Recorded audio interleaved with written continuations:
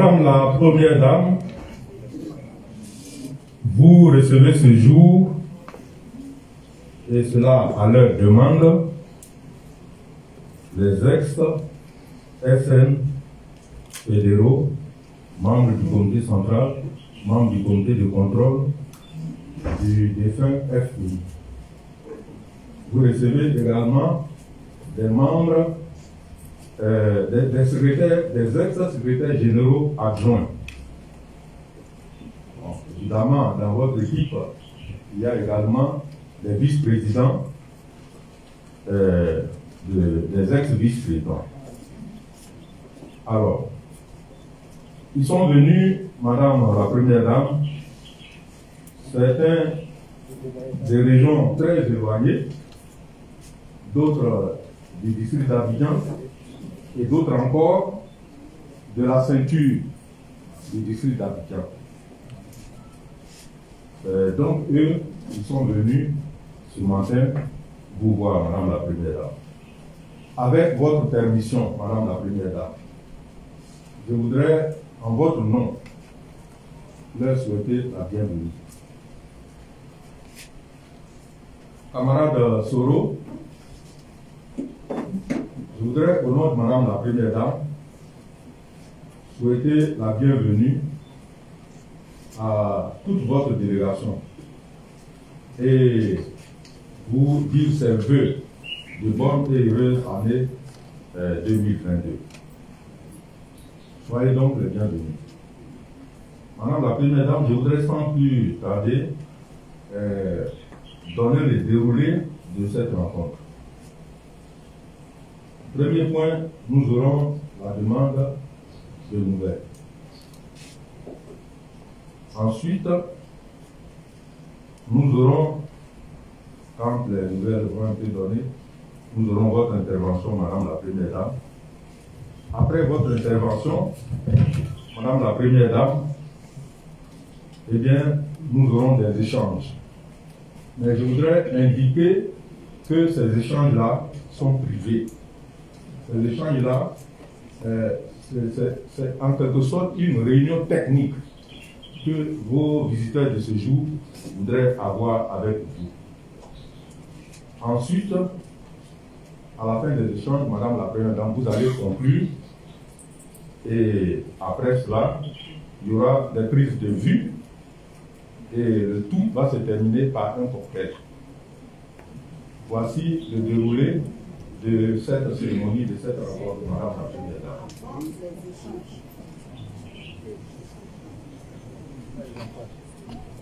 Euh, je voudrais donc, euh, oui, je voudrais indiquer à la presse que les échanges techniques qui vont se faire vont se faire sans la presse. Sans la presse. Nous allons demander donc, après euh, l'intervention de Madame la Première Dame, à la presse de se retirer pour que cette partie euh, plus technique puisse se tenir avec Madame la Première Dame.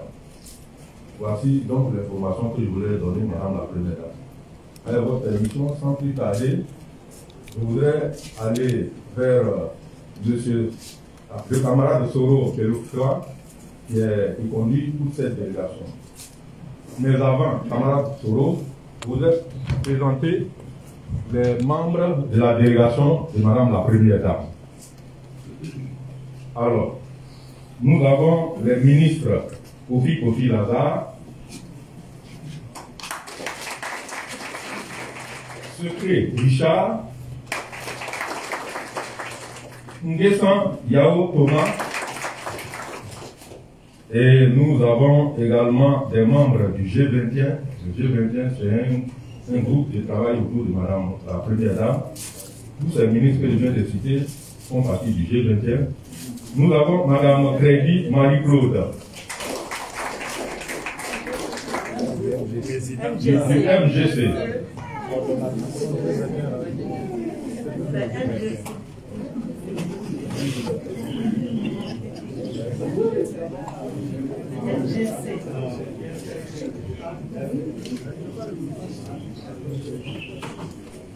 Euh, ensuite, nous avons le professeur Baloubi. Président de la Fondation Aigle Royale.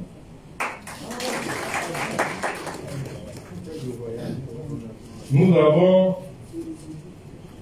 euh, Monsieur Tapé, Tapé Kipré. Voilà. Tapé Kipré. Nous avons ensuite Ivan Badé. Ivan Badé. Ensuite, euh, nous avons le DIRCAB de Madame la Première Dame, Monsieur Akpa Corentin. Nous avons le directeur cabinet adjoint de Madame la Première Dame, Travé Dominique. Nous avons le camarade V. Emile, l'honorable V. Emile, membre du cabinet de la Première Dame. Nous avons également le camarade Dédi Oli, membre du cabinet de la Première Dame. Nous avons Madame Meva Patricia, membre du cabinet de la Première Dame. Et nous avons Bintou Ouattara, membre du cabinet de la Première Dame. Euh, la délégation de Madame la Première Dame est également constituée de, du VP Accueil Innocent, du SN Santin Emmanuel, de la SGA euh, Ouattara Claudine, du SN Coutouin Ako David, de, du SN Blessot Jean-Marie Viavé, de Madame Hachi Hachi Michel. Monsieur. Ah, on a mis eux. On a mis, eux. De Monsieur Hachi Hachi Michel. De Madame Niawa Agnès. Ok et de Mme Seri Béatrice. Nous notons également la présence de la FGA Kone Fatou, du SN Sumaoro Abdoulaye, de Mme Mobier Carole du MGC et de M. Bibli Robert Jonas, également collaborateur de Mme la Première Dame. Voici, euh, camarade Soro, euh, la délégation de la Première Dame ce jour. Je voudrais, au nom de la Première Dame, venir vers vous euh, pour vous demander les nouvelles.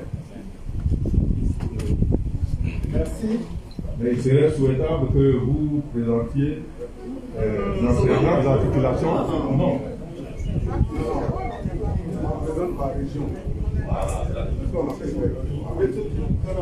Non, pas tous ceux qui sont venus. Pas tous ceux. Les responsables par région. Voilà. Merci, camarade Ba. Aujourd'hui, c'est un grand jour. Je pense que avant de commencer à donner les nouvelles, nous allons présenter ceux qui sont venus ici au domicile de notre maman. Parce qu'il faut qu'elle sache quels sont ceux qui sont devant elle.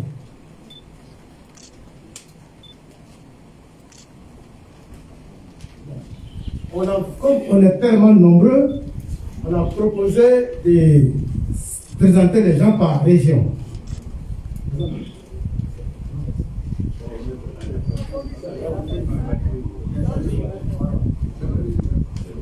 On a la région de Montagny avec le SNR La région du Montougo avec le SNR Gatia Voici.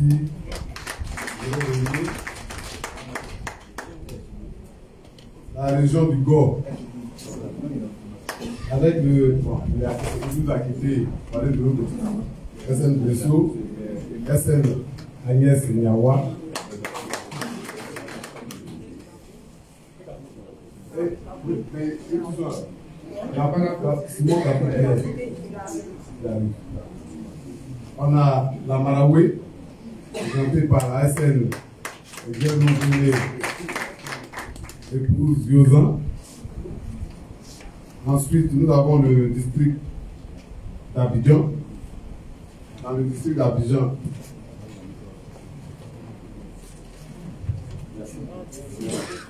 dans le district d'Abidjan, nous avons quand même quelques figures de proue que nous voulons présenter. Le conseiller municipal Kone Yodan, le camarade Kwadjo Ngoran. D'accord, merci le conseiller Tano, il est en route, n'est pas arrivé, le conseiller Villette aussi. D'accord. Ensuite, nous avons le haut Sassandra avec le camarade Yogo Franck, membre du bureau national de la GFPI et ex-membre du comité central. Euh, par la suite, nous avons le Sukomwe, le Sukomwe avec les fédéraux de d'Adiaké et de Maféré qui sont là.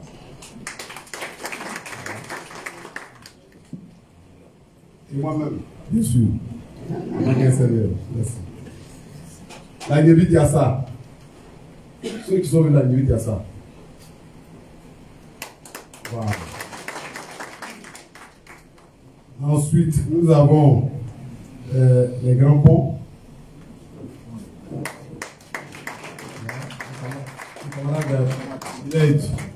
Il se veut se cacher, mais elle est membre du comité de contrôle, ex-membre du comité de contrôle.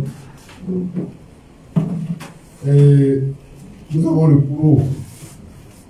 Le Pouro, sur Kefoa, étant du Pouro. Nous avons le Worodougou. Le Worodougou, nos camarades sont venus de Séguéla, euh, dans le dans la deux fédéraux, c'est ça non? Un fédéral et un MCC. Merci. Et puis enfin, nous avons le TOPI. Le TOPI, euh, voilà, le fédéral euh, de Mans, le fédéral de qui s'est déplacé depuis ce, depuis ce matin. Il voulait lui-même peut-être faire une petite adresse. Mais avant lui, on a le camarade de Bodopo, le fédéral de Bodopo, Thierry Becket. Le vous nous avez quitté pour aller C'est comme ça. Merci camarades. Je voudrais saluer maman. Maman, bonjour. Tout le monde vous salue. Je suis venu ici avec une forte délégation. Parce que la fédération de Mans, c'est la fédération qui a pu rendre démission. Les 30 sections ont démissionné. Le fédéral a démissionné. La coordination a démissionné. Mais ici, je suis venu spécialement avec quelques membres de ma section. Le camarade Pan, il est le secrétaire de section de Dample. Dample, c'est un des gros quartiers de Mans.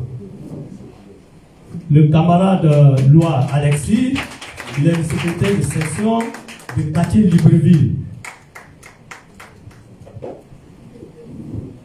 Le camarade d'État, Fréjus, il est de l'AGI, mais il est chargé de communication de la Fédération de Mans. La camarade Gombou Éléonore, elle est de l'organisation des femmes. Donc, euh, le camarade Jean-Michel est au bonnet, surtout bien Voilà. Merci, camarade.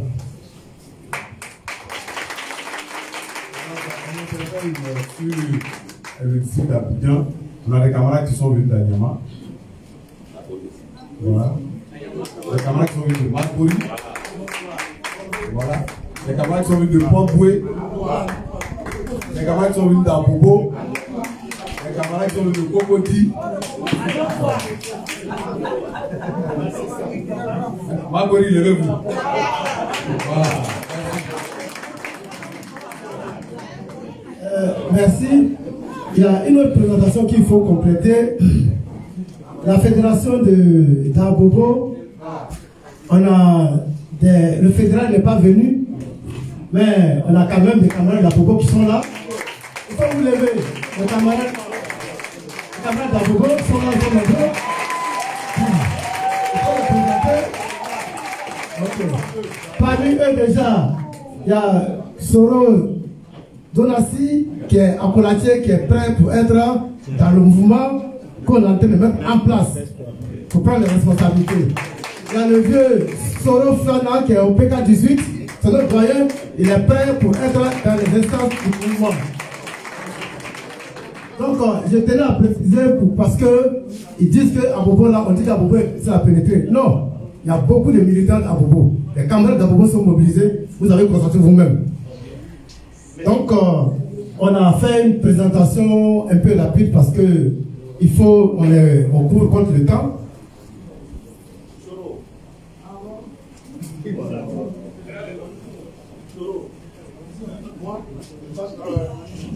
Oui, camarade Fallé, camarade, oui, camarade là, Lorion Maurice.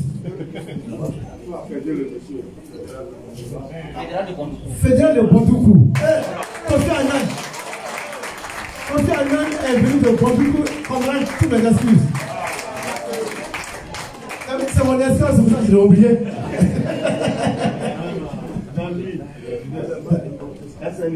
Jean-Louis, euh, il y a le camarade de, de Siké, Siké ici, où il est? C'est Ndoussi, où il est le camarade? Le camarade, euh, c'est Ka- Kakou, non Jovi Kalou, de, Siké ici, de la bureau fédéral de Siké de Ndoussi. Voilà. Donc là, il est enseignant et tous sont, ils sont déplacés, ils sont là. Donc, euh, madame, madame la première dame, aujourd'hui c'est un grand jour. Il y a longtemps, on attendait ce jour-là. Nous, les hommes politiques qui sommes avec vous depuis longtemps, il y a longtemps, on attendait cette occasion pour être devant vous. Vous êtes sûrs et vous savez que vous êtes pour nous l'éclaireur. Vous êtes pour nous la torche. Vous êtes pour nous le guide. Donc, on vous attendait. On vous attendait pour s'exprimer. Aujourd'hui, je suis le porte-parole de tout ce monde. Je ne ferai pas de discours. Ici, on vous traduit, on vous présente nos voeux pour l'année 2022. On sait que cette année 2022-là, elle soit une année de joie, une année de justice, une année de, paix et une année de résurrection pour nous. Résurrection pour nous qui avons connu tout ce qu'on sait. Donc, au nom de mes camarades, nous présentons, nous présentons nos voeux, meilleurs voeux. Nous sommes prêts pour vous accompagner dans la vision qu'on avait et que vous continuez. Parce qu'on sait que vous allez continuer la vision qu'on a eue depuis un grand FPI. Donc cette vision, elle n'est pas morte, elle est toujours là. Donc nous sommes derrière vous. C'est pour ça que je vous dis que c'est un grand jour. Parce que vous allez nous donner l'orientation. Vous allez nous donner la directive. Et nous sommes prêts pour vous suivre. C'est pour ça que nous sommes là. Merci maman. Nous sommes à votre disposition. Nous sommes à l'écoute. Je vous remercie. Maman, comme c'est la période, de- on vous présente les vœux, je vais donner le micro à une grande dame qui va faire, qui va présenter le, qui va vous donner le temps, qui va faire le tour du Ouest. Camarade, merci. Le micro.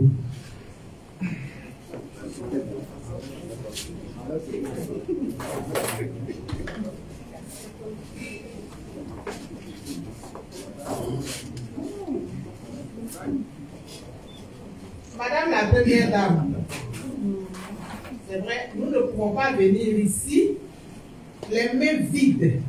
Nous n'avons rien, mais le peu que nous avons, nous vous accepter ce petit pain en guise de bonne année.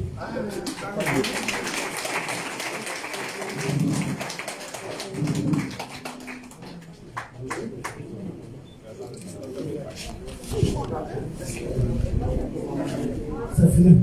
Merci, camarade Ba. Nous avons fini de donner nos nouvelles. Je vous remercie. Maman a trouvé les gens.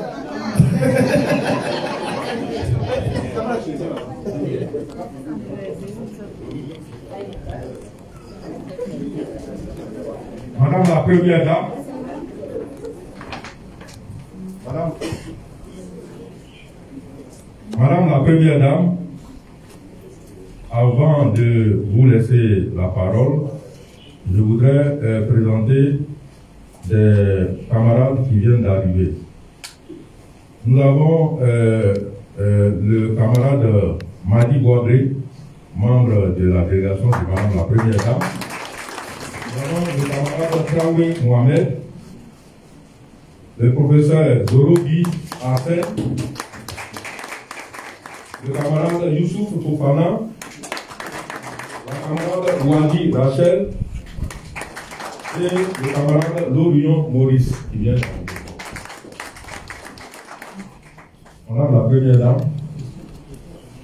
vous les avez entendus, ils ont donné leurs nouvelles c'est des, vœux de bonne année, mais c'est également pour vous dire qu'ils se mettent à votre disposition. Vous n'êtes pas seul dans le combat. Ils partagent votre vision. Voici donc, Madame la Première Dame, les nouvelles de la délégation. Euh, des SM et ex-responsables de, du FPI.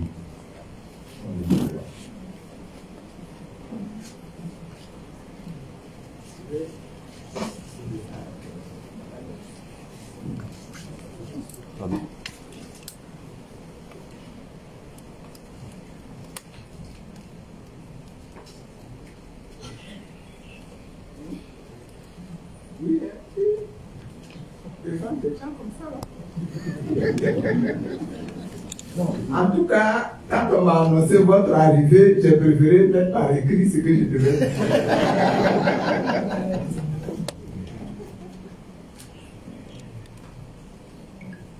Chers amis, chers camarades, je voudrais d'abord vous saluer. Je voudrais vous saluer, vous tous, qui avez accepté de venir euh, cet après-midi ici, chez moi. On m'a dit que vous veniez dans le but d'échanger avec moi sur des questions qui nous intéressent tous. Parce que ce sont des questions qui concernent l'avenir de notre nation. Voilà ce qu'on m'a dit. Donc vous comprenez que j'ai éprouvé des besoins très prudents de prendre ma feuille, mon pic et d'écrire ce que je vais vous dire. Mais bon, je voudrais d'abord vous remercier. Vous remercier d'avoir fait tous ces déplacements-là. Il y sont venus de l'intérieur du pays et ils sont nombreux. Ceux de membres l'ont écrit. Vraiment, merci d'avoir fait le déplacement. Je sais que vous aviez beaucoup d'occupations. Je sais que le chemin est long et quelquefois même le voyage est difficile à accomplir. Mais en dépit de ces problèmes-là, vous êtes venus. Ça manifeste de l'estime que vous me portez. Et je voudrais vraiment vous remercier pour cela. Ça montre aussi toute la considération que vous m'accordez. Et dans une certaine mesure, même je pourrais dire que vous comptez sur moi dans une certaine mesure pour avancer, n'est-ce pas, dans ce programme-là de la construction du devenir de la Côte d'Ivoire. Et, je vous remercie également pour toute cette considération-là, pour tous ces sentiments-là. Et puis, comme nous sommes en début d'année, avant d'aller plus loin dans mon propos, je voudrais vous souhaiter une excellente année 2022.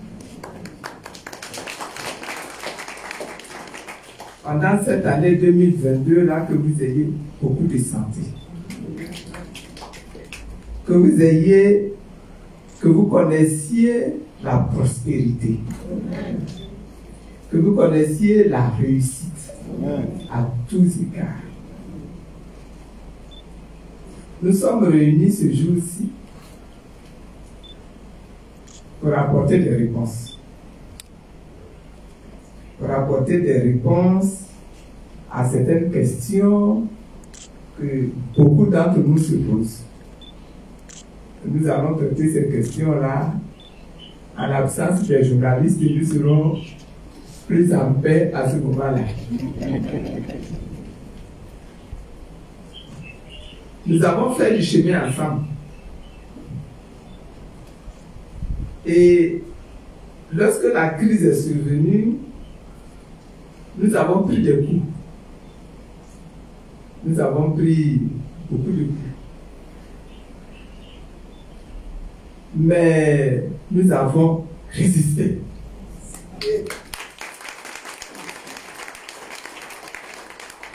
Nous avons résisté. Nous nous sommes battus comme nous avons pu. Et cela nous a permis, dans le contexte d'une adversité, adversité quelquefois même farouche, nous a permis d'obtenir quelques victoires. Et une des victoires majeures que nous avons enregistrées, ça a été la libération et le retour du président Laurent Gbagbo à Côte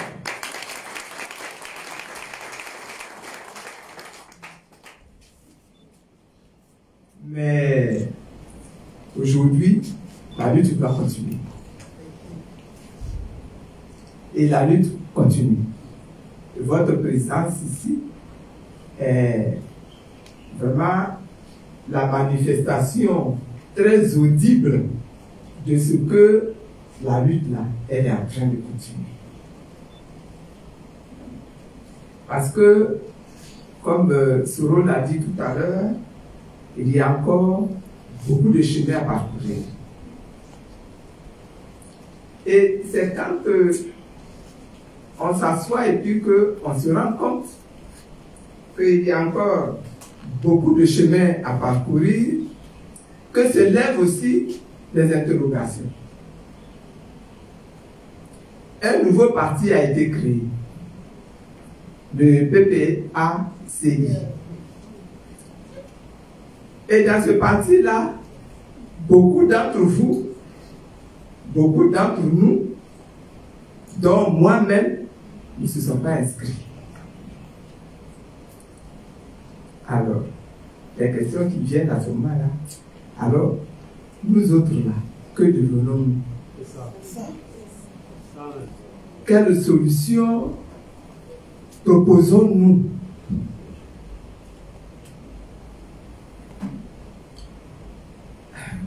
En ce qui me concerne particulièrement, il me revient que des gens voudraient savoir si je vais créer un autre, un nouveau parti de mon côté, ou si j'abandonne la politique et puis je, je retourne à Moscou m'asseoir au village, ou si je prends mon temps, j'examine pour voir si finalement je vais aller au PPACI ou bien si je ne veux pas aller au PPACI. Les gens se posent ces questions-là. Et je suis sûr que si je vous secoue un peu, ces questions-là vont sortir de vos poches, de vos ventres, de vos cœurs.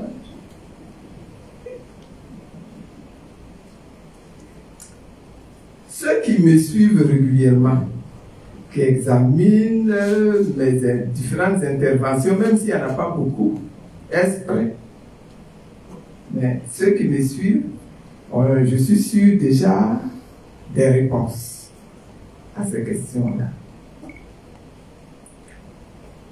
Mais pour plus de clarté, je voudrais faire quand même quelques propositions et puis après, on va discuter.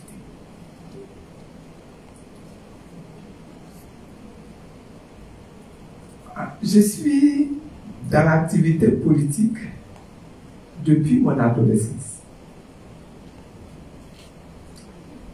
J'ai consacré une grande partie de ma vie même à l'activité politique. Quand je calcule un peu aujourd'hui, ça fait quand même au moins 40 ans, sinon plus, plus que je suis dans l'activité politique. Même 50 ans, je suis dans l'activité politique. Et donc, étant donné que j'ai consacré une grande partie de ma vie à l'activité politique, je ne compte pas abandonner maintenant.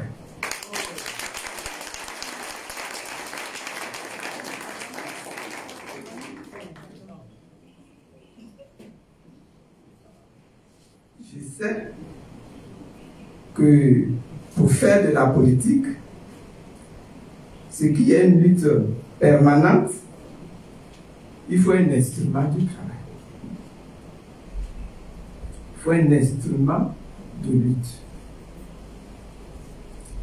Et, c'est la raison pour laquelle vous allez voir que dans le pays, il existe des partis politiques, des mouvements politiques, des associations ou des comités à vocation politique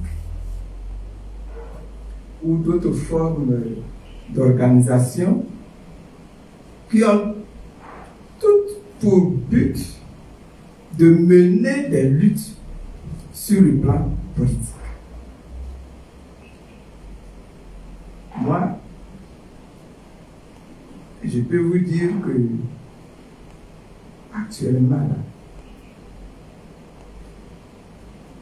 pour euh, mener la lutte, pour continuer mon activité là, pour continuer les actions politiques que j'ai l'habitude de mener, j'ai choisi de travailler à travers un mouvement que nous avons dénommé le mouvement des générations capables. Le mouvement des générations capables. On va en parler tout à l'heure. Qu'est-ce que le mouvement des générations capables C'est un mouvement politique, un mouvement citoyen. Le mot citoyen trouble quelquefois mes frères et mes compatriotes. Alors, alors que le mot citoyen lui-même, il ramène principalement aux questions de droit, aux questions de devoir politique dans la cité. Donc c'est un mouvement citoyen. C'est pourquoi il faut comprendre que le MGC est une organisation dont la vocation amène à faire de la politique et en même temps à intervenir dans le domaine social, dans le domaine économique, dans le domaine de l'éthique, dans le domaine juridique, etc. C'est donc un mouvement qui a une base très large.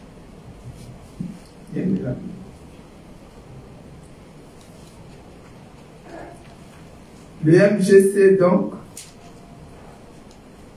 fait de la politique au même titre que toute autre organisation, mouvement ou parti politique. Il va chercher à impacter la population, à impacter le pays, à conquérir des postes des sièges politiques au plan national comme au plan local. Mais en plus,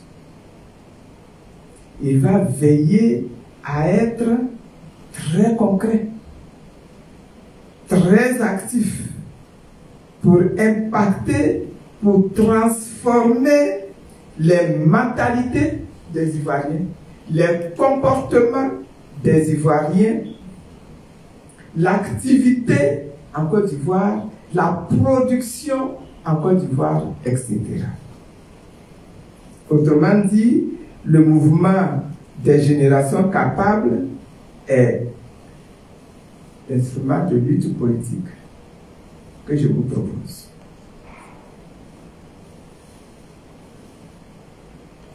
C'est cet instrument-là, principalement, qui sera utilisé pour promouvoir les valeurs qui, selon moi, sont nécessaires à la transformation des mentalités en vue de l'éclosion d'une Côte d'Ivoire transformée qualitativement. Ces valeurs, on en parle, on en parle souvent, et je voudrais encore les rappeler. Il faut les avoir à l'esprit et il faut faire en sorte que ces valeurs-là soient la base de nos actions au quotidien. Il s'agit de la compétence. Un Ivoirien qui est du mouvement des générations capables doit être ou doit devenir un Ivoirien compétent dans son domaine. Quel que soit le domaine qu'il choisit. Un Ivoirien capable, un Ivoirien compétent. Si tu es député, tu dois être un député compétent. Si tu es maire, tu dois être un maire compétent. Si tu es élève, tu dois être un élève compétent. Si tu es un homme d'affaires, tu dois être un homme d'affaires compétent. Si tu es un administrateur, un cadre, un haut cadre de l'administration ivoirienne, tu dois être un haut cadre compétent. Si tu es médecin, tu dois être un médecin compétent. Si tu es policier, douanier, tu dois être un policier ou un douanier compétent. Premier critère, la compétence. Deuxième valeur, la crainte de Dieu. Moi, si tu n'as pas peur de Dieu, tu ne m'intéresses pas. Il faut que ce soit très clair. Si tu n'as pas peur de Dieu, tu ne m'intéresses pas. Je ne dis pas que tu dois aller t'inscrire dans mon église pour devenir membre de mon église. C'est pas ça. Parce qu'il y a plein de gens même qui sont dans mon église, peut-être et qui n'ont pas la crainte de Dieu. Peut-être la crainte de Dieu. Si tu es chrétien, tu dois avoir la crainte de Dieu. Tu es musulman, tu dois avoir la crainte de Dieu. Tu es bossoniste, tu dois avoir la crainte de Dieu, etc. La crainte de Dieu. L'amour de la patrie. Si c'est ton amour pour toi-même qui te met en mouvement et que le pays ne t'intéresse pas, tu ne m'intéresses pas. Tu ne m'intéresses pas l'amour de la patrie. L'amour de soi-même. C'est pas, vous avez dit, mais c'est en contradiction avec ce que tu viens de dire. Quelqu'un qui lui-même n'a aucune considération pour sa personne, il ne m'intéresse pas. Parce qu'il est dangereux. N'importe qui peut l'acheter. Parce qu'il n'a aucune considération il n'a même aucun respect, aucune affection pour lui-même. Donc il peut se vendre facilement.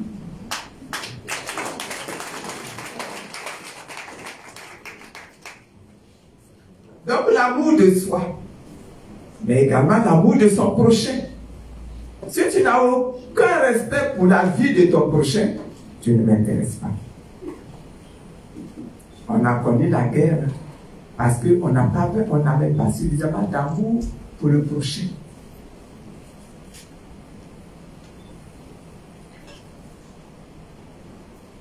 L'intégrité. Il faut qu'on se batte pour que les Ivoiriens deviennent des hommes intègres. Des hommes dont la parole est tellement lourde dans leur propre bouche et dans leur propre cœur que pour passer un contrat avec eux-mêmes, On ne peut même pas mettre le contrat par écrit et puis le contrat va être respecté. Est-ce que vous voyez? Il y en a même, le contrat est écrit et puis ils cherchent quand même à contourner et, et, et, et, à tricher et, à te voler. Mais il faut qu'on soit intègre. L'intégrité, là, ça implique la loyauté. L'intégrité, ça implique la fidélité. L'intégrité, ça implique la recherche de la vérité, de la sincérité. L'intégrité. L'incorruptibilité.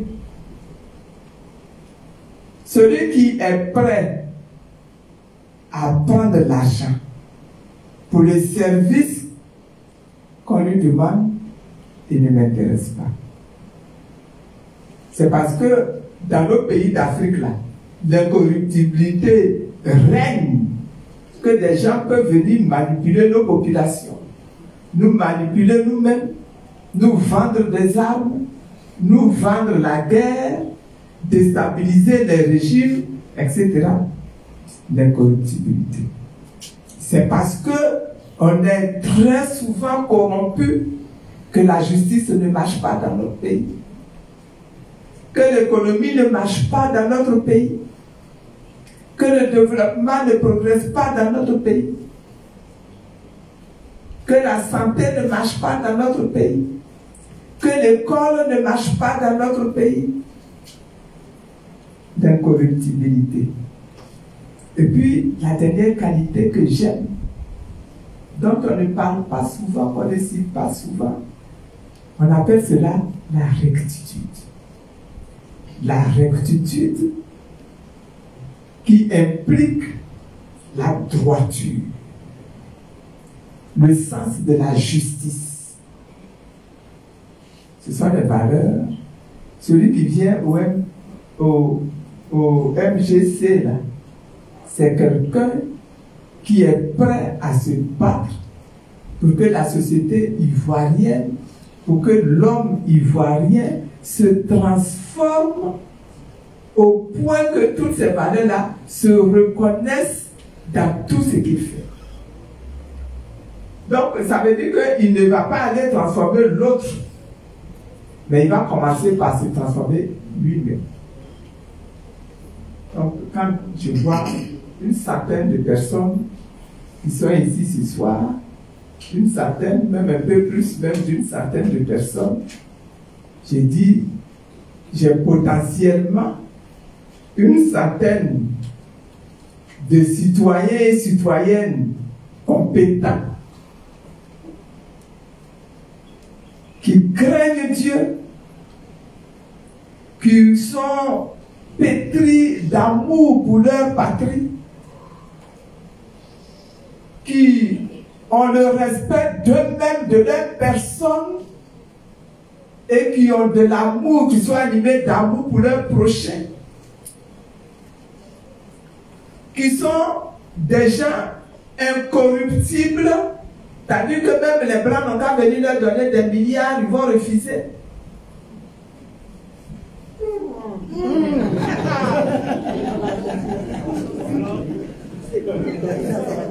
Ils sont en train de rire, ils causent toujours. Donne-nous les postes Macron, on va voir.